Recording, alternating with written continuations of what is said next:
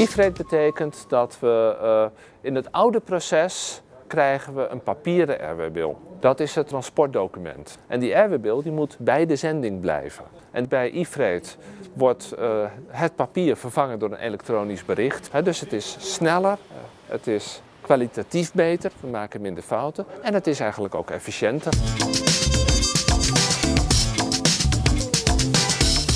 Kijk, en dit is dan één zending. Nou, die is vrij dik, daar zitten veel papieren in en die hoef je dan niet meer te maken. En dit hele mandje, dat hoef je dus ook niet meer te vervoeren. Dus dat scheelt kerosine en het scheelt papier.